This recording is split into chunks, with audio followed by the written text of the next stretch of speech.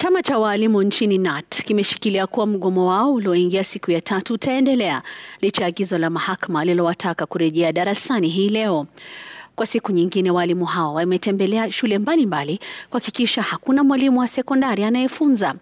Na kama anavyotuarifu Crispin Otieno, kuanzia Kisii hadi Mombasa na hata Nyeri, waalimu walisusia kazi huku wengine wakiandamana.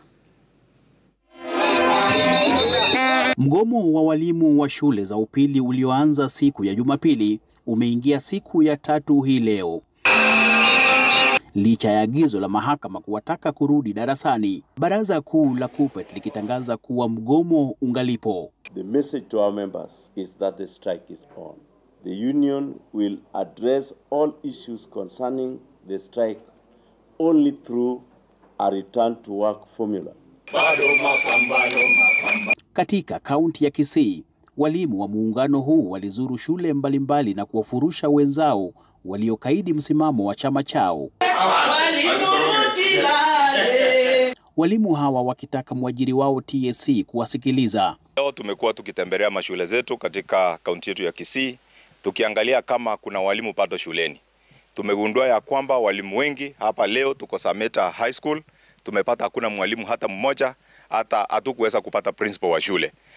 Walimu wa KUPPET wanasisitiza kwamba kamwe hawatasitisha maandamano yao kama ilivyoagizwa na mahakama, na watazidi kuzunguka katika shule kadhaa, sio tu katika kaunti ya Kisii bali kote nchini, kama njia mojawapo ya kutoa walimu wenzao ambao wanatarajiwa kuwaunga mkono katika mgomo huu. Maandamano sawia yakishuhudiwa kaunti jirani ya Nyamira, na hali pia ikawa sawa kaunti ya Kericho. Walimu kutoka Mombasa, Nyeri, Nyandarua, Bomet, Kisumu, Bungoma na Taita Taveta pia wakionyesha umoja wao barabarani. As teachers we are not relenting. We are going to be on strike until all our demands are met. Yes.